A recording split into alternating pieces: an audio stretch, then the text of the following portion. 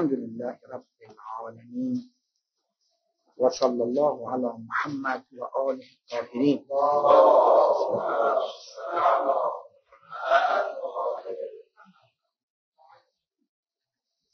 سيما إمام زماننا روحي وأرواح من سواه لتراب مقدمهم فداه عرض شد که آقایان متهم می‌کنن تشیع را به اینکه ریشش به عبدالله بن یهودی منتهی میشه. و گفتیم بحثمون در سه محور. محور اول ریشه این اتهام را باید بررسی کرد. سندش راویش اصل قصه. این ما در قضیه تاریخ تبری که قدیم ترین مدرکش بود بررسی کردیم. متن و سند و مشخص شد که ضعیفم در ضعیفم در ضعیف. نه طبق مبنای خودمون طبق مبنای خودش. بعد گفتیم که بریم مشور دوم. ببینیم که از مجموع روایاتی که در کتابهای خودشون هست این اتهام به کی بیشتر میچسبه؟ من در محور دوم فقط به دو سه نکته می‌خوام اشاره کنم. اگر خواسته باشم وارد بحث بشم مطمئن باشید یه ترم ما باید بحث کنیم. ولی به سه تا دو سه تا نکته فقط اشاره یک ارتباط بعضی از صحابه ای که بعد به عنوان خلیفه مسلمین مطرح شدن. ارتباط تنگاتنگ اینا با یهود.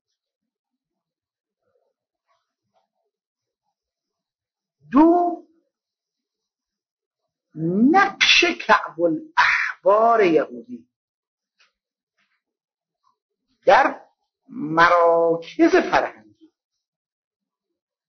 پست های حساس. سه تأثیر این فرهنگ؟ فرهنگ یهود در کتاب های تفسیری حدیثی و به طور کلی فرهنگ مکتب خدا. این سه تا بحث سه تا موضوع. کنار هم بگذارید. جمعبندی کنید. بعد ببینید. این اتهام بله؟ به کی میچسبه؟ اتهام به شیعه میچسبه. که دلیلتون چیه؟ بگید. قصه عبدالله ابن سبایی که خودتونم نتونست سندشو درست یا اتهام به این مکتبه این هم حجمه؟ حجمه؟ عدل واضح چی می‌خوام عرض کنم یا نه؟ سیر بحث مشخصه؟ دیروز به بعضی از روایات اشاره از کتاب مجمع زوائد حیتمی متوفای 807 این آقا روایاتی را نقل می‌کرد. ارتباط میاد. آقای حیثمی تحت عنوان لیس لأحد قول مع رسول الله. میگه در این عنوان باب در کنار قول رسول الله کسی قولی نباید داشته باشد. وقت روایات ارتباط جناب خلیفه دوم با تورات را نقل دیروز من روایت چند روایت نقل کردم؟ دو تا روایت. روایت سه. روایت سوم عبدالله ابن ثابت انصاری. ولی صفحه 173 این چاپ ها جلد یک. صفحه 173 میگه بله. جالب این است.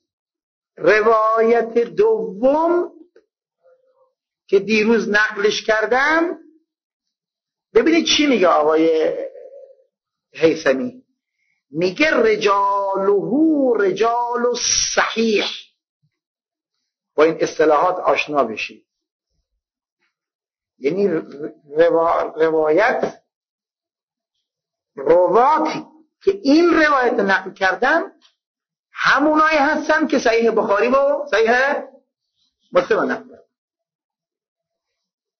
میگه روات رجاله رجال صحیح الا یک نفر.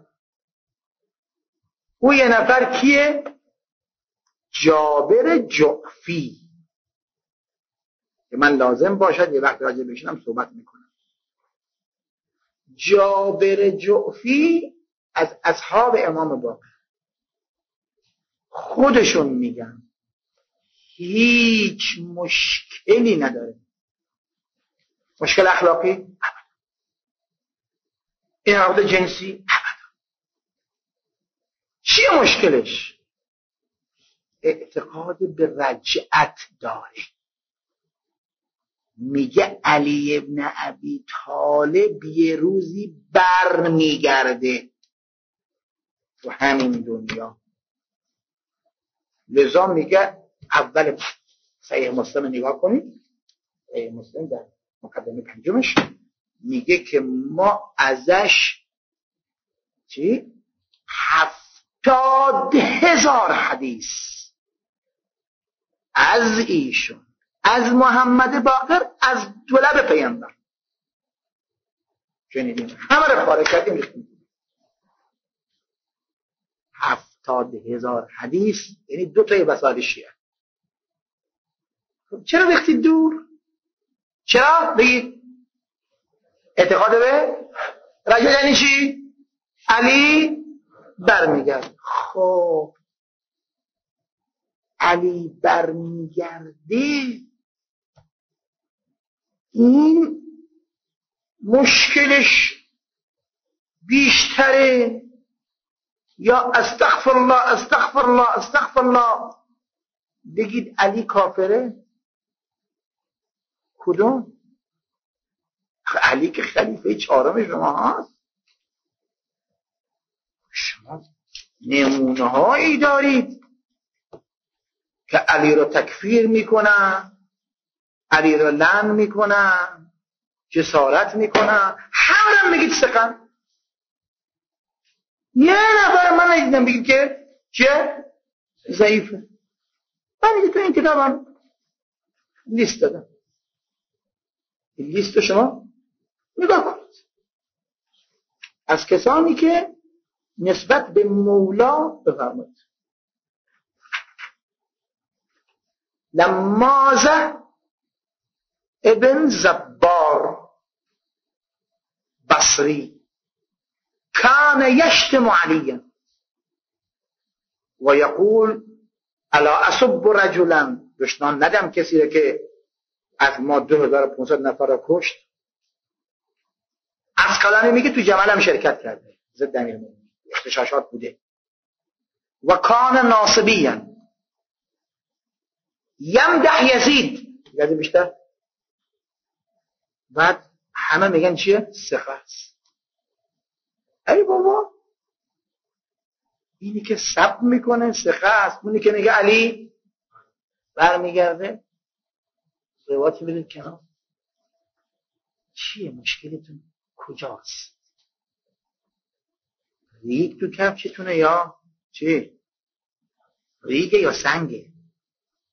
چی چیه؟ یکی دیگه. دقت کن حریز ابن عثمان. این امام جمعه بود. تو سرش بخوره نماز. امام جمعه بود. در حمص. میگه که روزی بعد از نماز صبح هفتاد مرتبه بعد نماز عشا هفتاد مرتبه. علی رو ابن المدینی میگه هر کس از علما رو دیدیم گفتن این آقا آدم خوبیه. سقتون سقتون سقه نخیر سقتون سقتون سقت احمد ابن حنبل هم که ما سیصد تا روایت صحیح ازش نقل از کی کی همون کسی که 740 مرتبه سب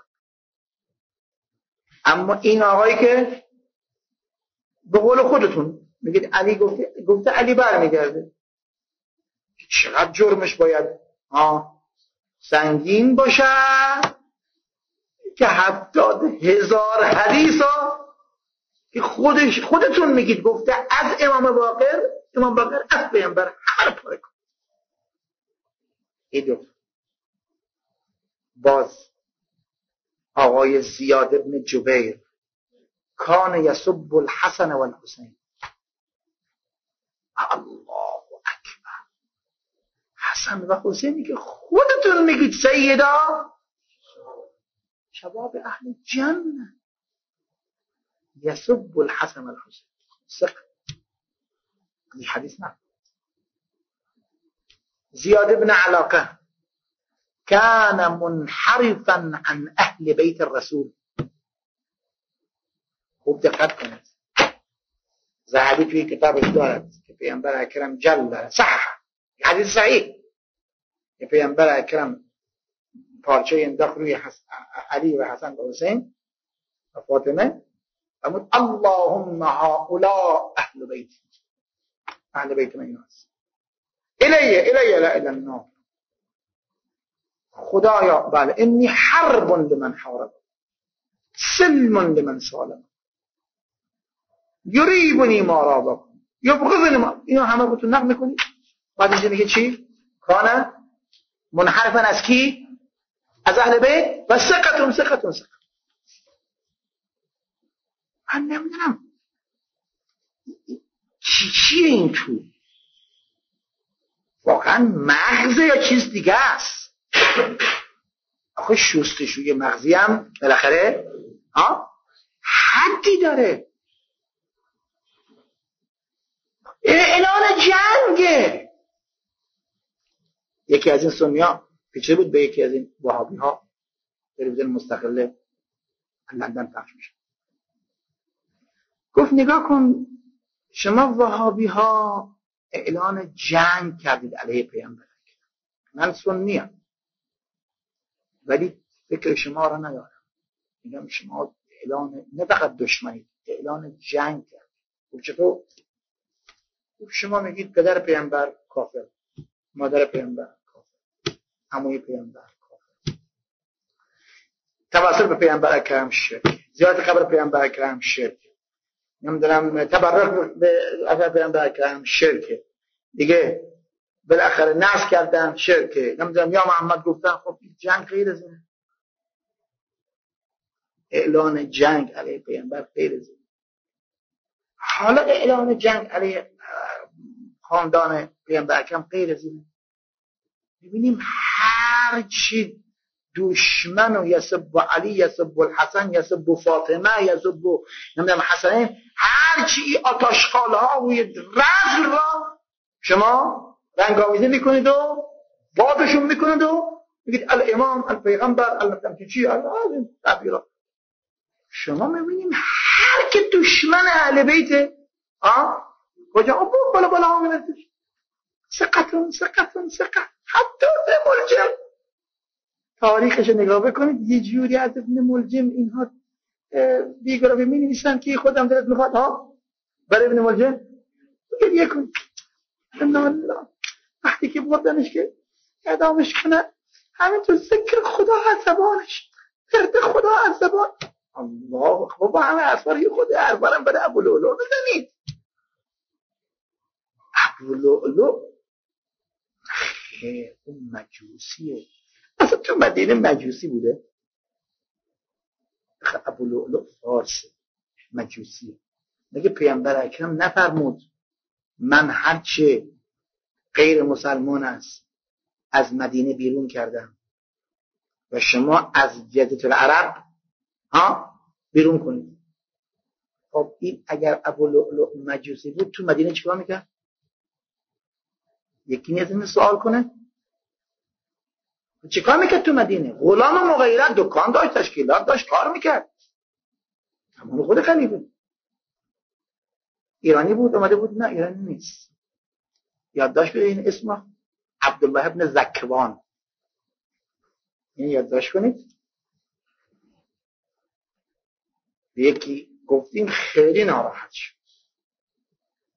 شماها قاتل ببینید کتاب نویسید مدح می‌کنید ابو ابو لؤلؤ را. من از کارا خوشم نمیاد این کارا درست نیست.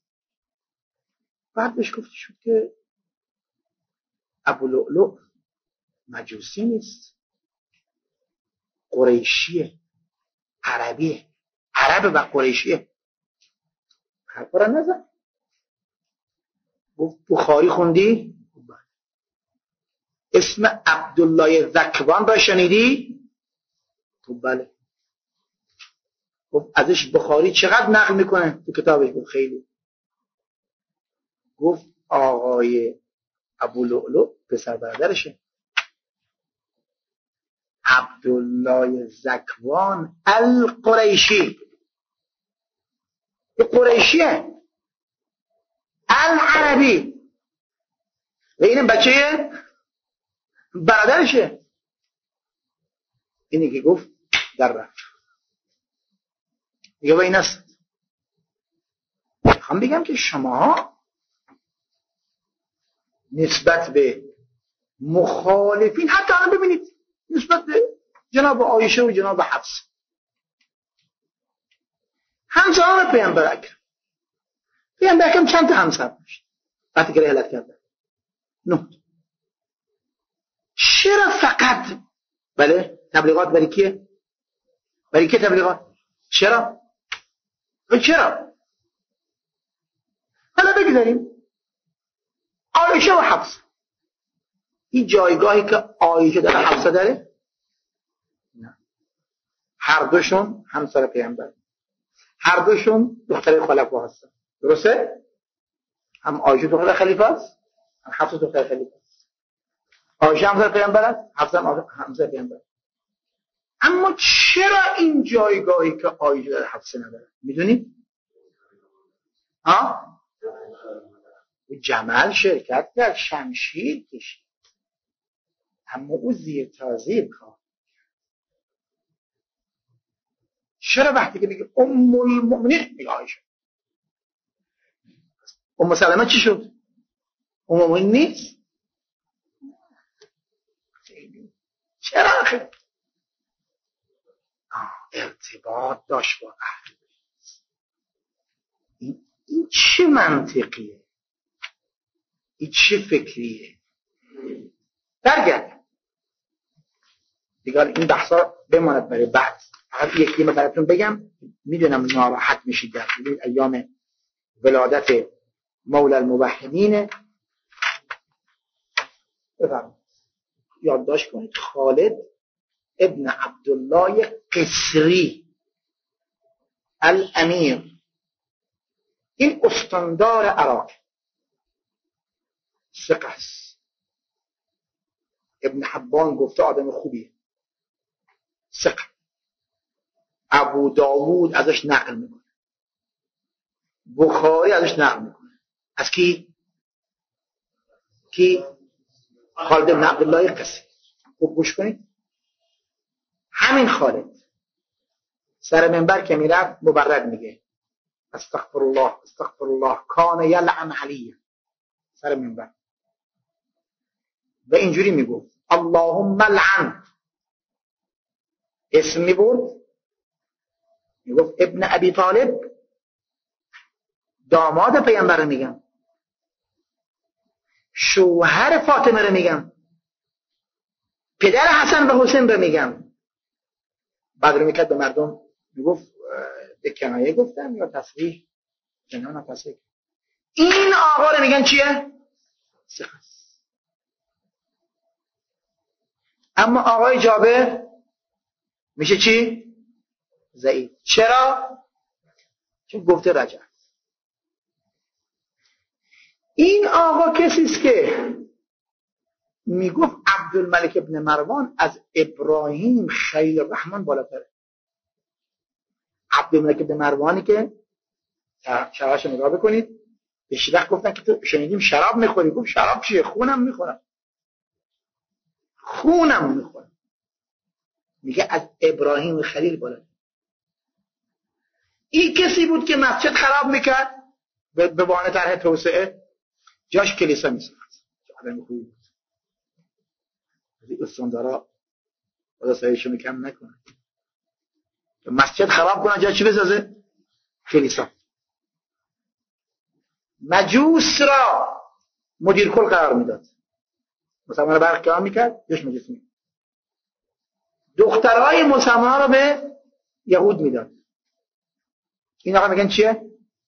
سختون سختون اما آقای جابر ضعیف.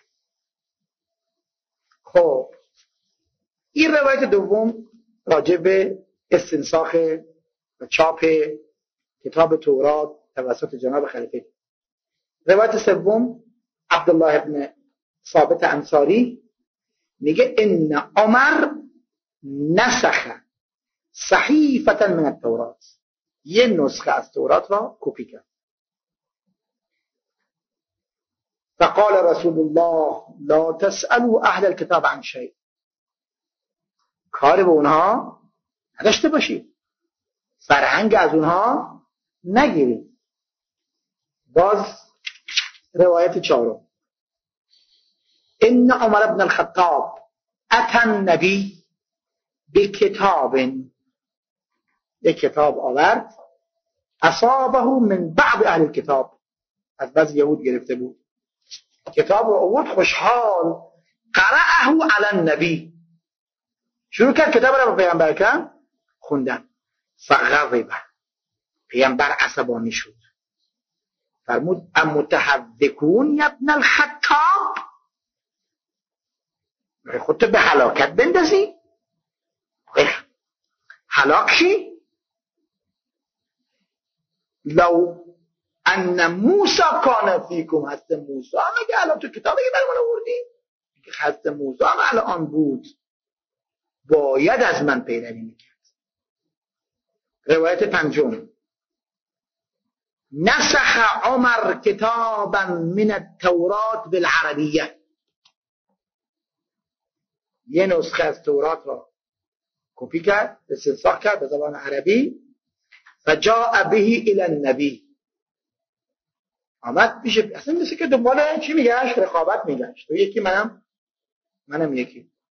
تو قرآن آوردی من تورات آوردم. آمد پیش پیامبر فجعل یقرأ. بلند بلند تورات می‌خواد پیش پیامبر. خیلی جالب. و وجه رسول الله یتغیر. چهره پیامبر اکرم شد ناراحت. فقال رجل من الأنصار ویحک یا ابن الخطاب. چیکار داری میکنی ألا ترى إلى وجه رسول الله یتغیر بعد پیامبر اکرم نصیحتش کرد روایت ششم. جاء عمر به جوامع من التورات چند جلد از تورات بود؟ توضیح کن. خب؟ الى رسول الله. فقال یا رسول الله جوامع من التورات چند جلد از تورات است. اخذتها من اخ لی یه داداش یهودی من دارم. از اون گرفتم. اخذتها من اخ لی من بنی زرایق خوشحالم بود کتاب آورده.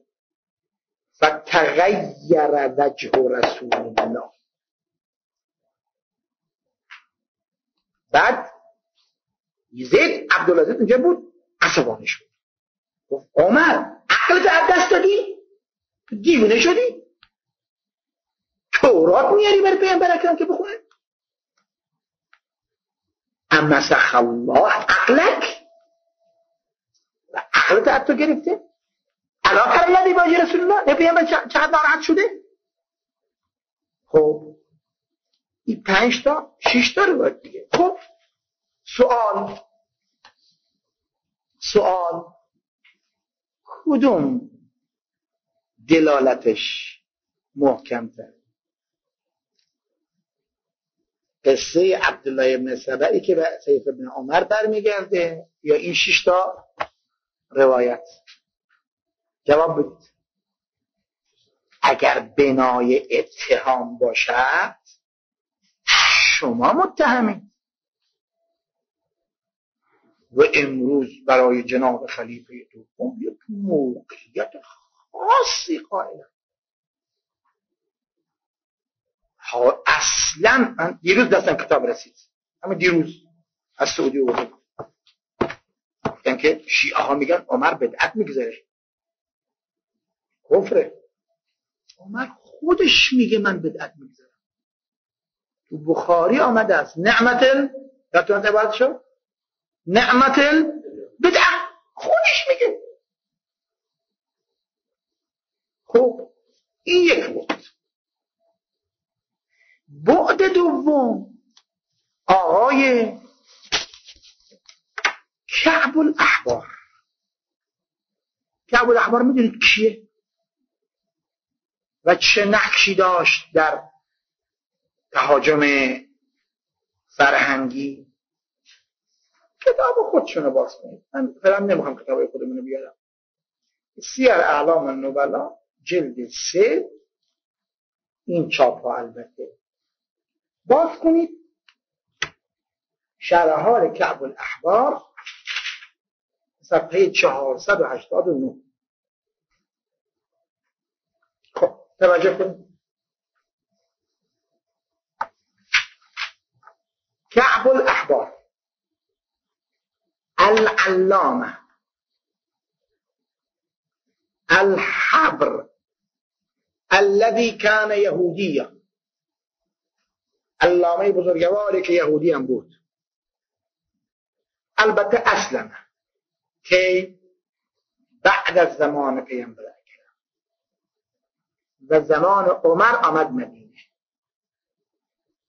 پیامبر ندید. زمان پیامبر اسلام نیورد زمان عمر اسلام اومد آمد مدینه. این یهودی کلاس درس داشت برای اصحاب پیامبر. به ماشاءالله به جونه جالس اصحاب محمد. خوب دقت کنید. زیر این قلم بگیرید. و اینها گرده می‌کرد. فکان یحدثهم عن الكتب الاسرائیلیه. براشون تو حوزه درس میگو. چی درس میگو؟ یه حرفای منه؟ یه حرفای خودتونه. والا اگه یه صدم اینا تو کتابای ما بود پدر ما رو در چطور با بارش می‌برید دهانتونم پاک می‌کنید کندم یکن شیئا مسئول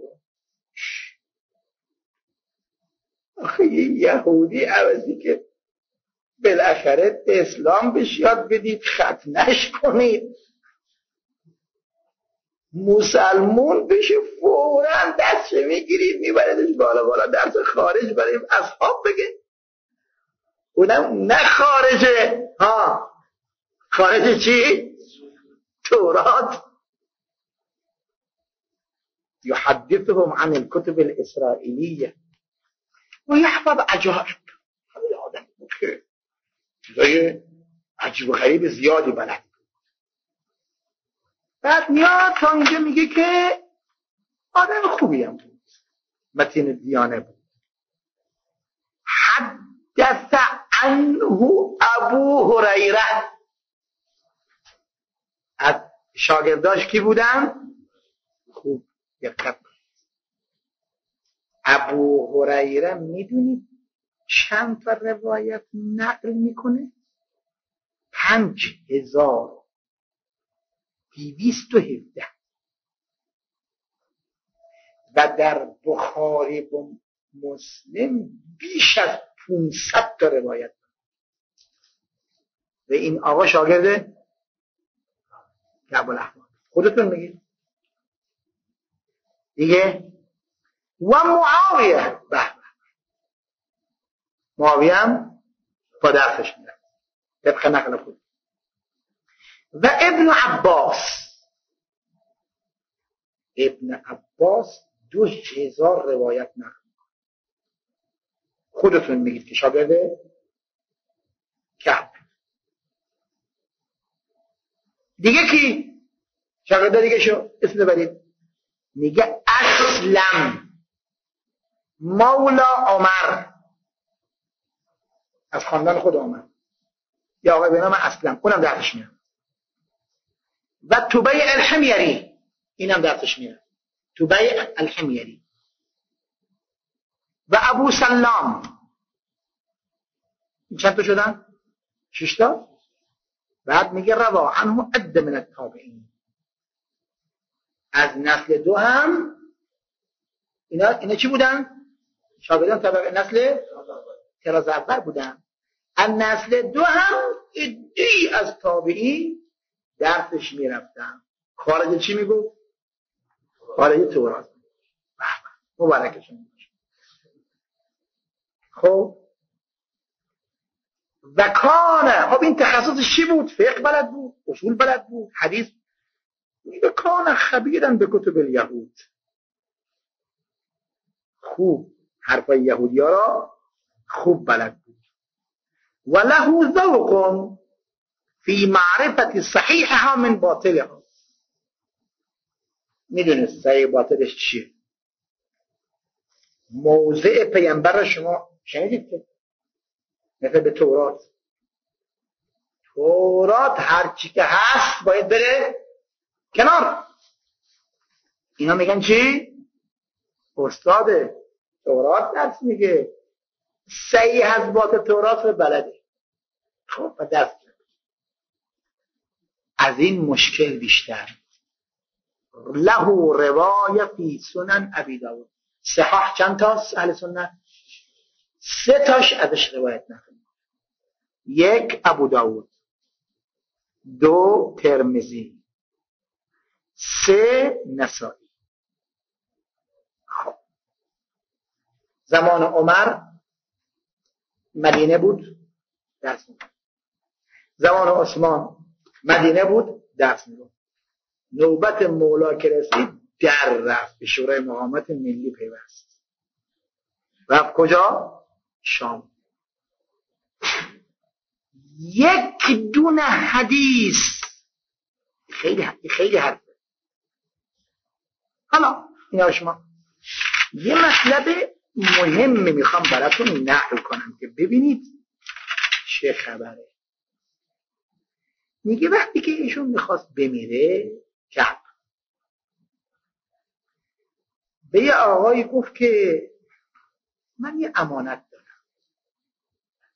من دارم ترجمه می‌کنم براتون یه امانت دارم. حاضر امانت منو برسونی؟ بله من میرسونم.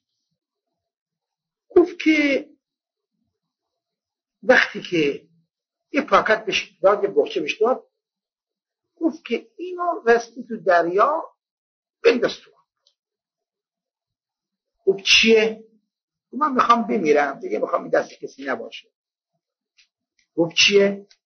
گفت انها تورات کما انزلها الله علی موسی. ما غیرت و ما بدلت. یعنی چی؟ یعنی چی؟ تورات اصلی پیش پیامبرم نبوده اما پیش و درس که می‌گفته؟ این می‌گفته. بعد زهبی دیگه تحمل نمی‌کنه. میگه که هذا القول من کعب این حرف کعب دلالت دارد که اون نسخه نسخه اصلی بوده. ما غیرت ولا بدلت نسخه اصلی بود. فمن الذي يستحل ان يورد اليوم من التورات شيئا چی جرأت می‌کنه امروز مطلبی را از تورات بیاره علا وجه الاحتجاج یعنی با آن ها استدلال کنه معتقدن انها تورات. کی جرأت می‌کنه بگه که تورات واقعی پیشه؟ منه. اما این چی گفته؟ تورات واقعی پیش من بود. خب. یه شخص یهودی تو مراکز فرهنگیتون تورات می‌گفته. توراتی که موضع پیامبر اکرم را شما تو این جلسه شنیدی که چطور پیامبر رنگش تغییر می‌کنه؟ تورات که جای خودش هست موسی هم باید باید از من غیره می‌کنه. و این آقا تورات رو درس می‌گفته. ابو هرره داشت نقل می‌کرد. سه آنسه داشت نقل می‌کنم. وقت به ما میگی چی؟ ریشتون؟ یهودی. اگر دلائل دلائل ما اینا باشن. شمایید. نه ما. اون وقت اثرش را ببینید یک می‌بینید ابن کثیر. البته خودشون میگن ابن کثیر. یعنی پسر آه البته ما احترام می‌ذاریم. نمیگیم ابن کثیر میگه ابن کثیر. و الله باید بگیم ابن عساکر. باید باید بگیم ابن کثیر. خودش صداش در میگه این حرفهای کعب و اینها حرفهای یهود فرهنگشون در کتابهای ما اثر گذاشته. تفسیر ما را اینها تباه کردن. این چاپ رو نگاه کنید دارالمعرفه صفحه 379 من براتون یه عبارت می‌خونم. این کتاب رو من از مکه آوردم. چاپ بیروته از مکه آوردم. ببینید در سوره نمل زیل آیه شریفه قال نکرو لها عرشها. قصه قصه بلقیس دیگه.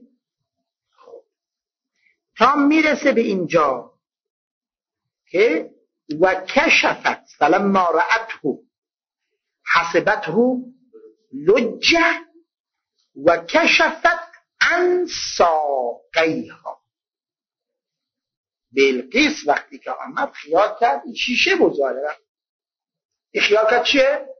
آبه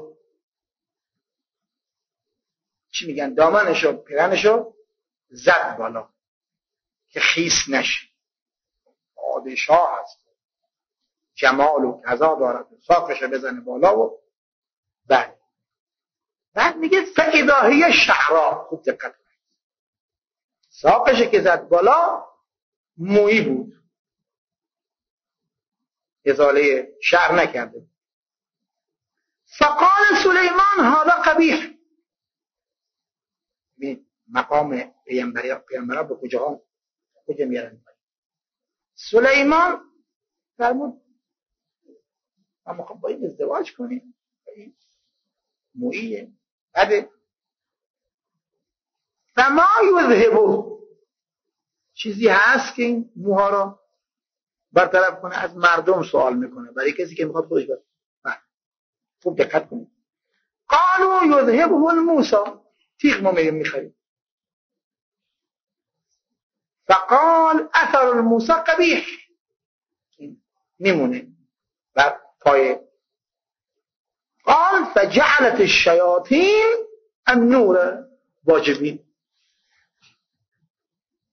شیطان هم نه ما میمون تو طرفان بعد واجبی می‌خریم. واسه واجبی بودن براش قال فهو اول من جعلت له النور. اول باری که واجبی ساخته شد این قضیه. حرفای کیه؟ ابن ابن ابی شیبه.